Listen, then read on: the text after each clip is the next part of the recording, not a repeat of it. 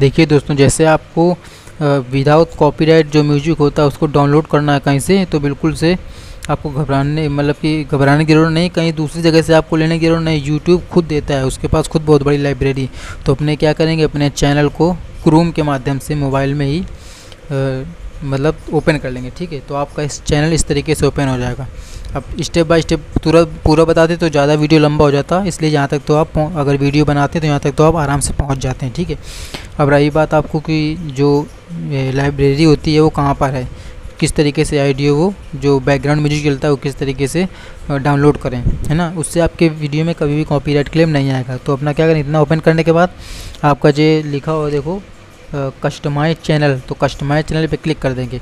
Customise channel पे click करने के बाद, ये आपको सीधे खोल देगा जाएगा बाइस स्टूडियो में, ठीक है? इतना तो आप सभी जानते होंगे। उसके बाद आप देखेंगे कि जैसे ओपन होगा तो लेफ़्ट हैंड साइड बाएँ साइड में थोड़ा बड़ा कर दें। देखो दोस्तों हम बाएँ साइड में देखो, ये एक जो पूरा है आपके चैनल का लोगो है, उसके नीचे एक वर्टिकल लाइन पूरी है, जो भी डैशबोर्ड है, हर चीज़ है, उसमें सबसे नीचे देखो लिख म्यूज़िक का एक सिंबल बना है, डिब्बा, है ना? तो उसमें क्लिक करेंगे। उसमें जैसे क्लिक करेंगे तो ये अपना जो है कि लाइब्रेरी पूरा ओपन कर देगा। देखो, ये इतने जो बैकग्राउंड म्यूज़िक हैं, ये भरे पड़े हैं, ठीक है?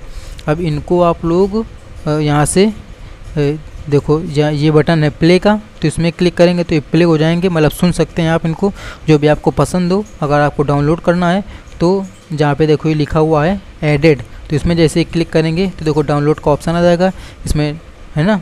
डाउनलोड का ऑप्शन आ जाएगा, यहाँ से डाउनलोड में क्लिक करेंगे तो ये म्यूज़िक डाउनलोड यहाँ से हो जाएगा, ठीक है? यहाँ से देखो डाउनलोड हमने क्लिक कर दिया तो ये यहाँ पे लिख के आएगा डाउनलोडिंग फ़ाइल डाउनलोडेड ठीक है?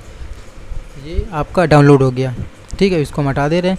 अब अब बाई चांस आपका जो आप वीडियो बना रहे हैं, उसमें, इसमें जितने म्यूज़िक पड़े हैं तो और भी आप इससे निकाल सकते हैं। यहाँ पे 30 सेलेक्ट हैं, और भी अगर यहाँ पे क्लिक करेंगे इस तरीके से तो 100 तक यहाँ पे पूरा लाइब्रेरी आ जाएगी, ठीक है?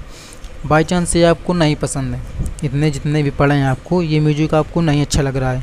तो आप क्या करेंगे कि, ये देखो एक ऑप्शन है यहाँ पे फ़िल्टर का लगा है सर्च और फ़िल्टर लाइब्रेरी तो इसमें एक और ऑप्शन होता है, उसमें भी आपको क्लिक करके दिखा रहे हैं। इसमें क्लिक करेंगे हम फ़िल्टर वाले पे। तो इस तरीके से देखो ओपन हो जाएगा, ठीक है?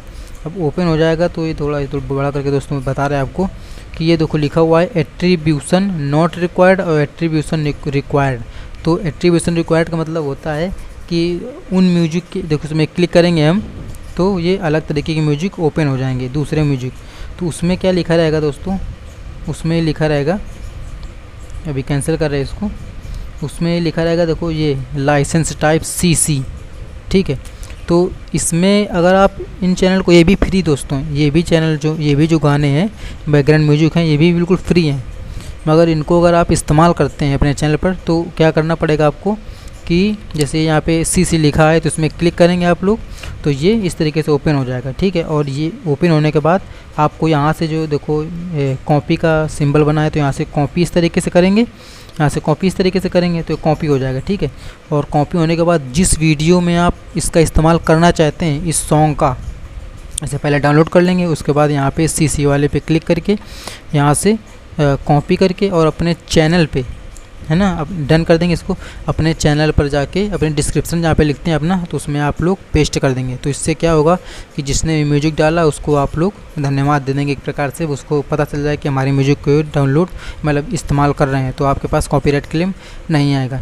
तो दोस्तों वीडियो अगर अच्छी लगी हेल्पफुल हो तो चैनल का सपोर्ट करिए। जय हिंद, वंदे मातरम।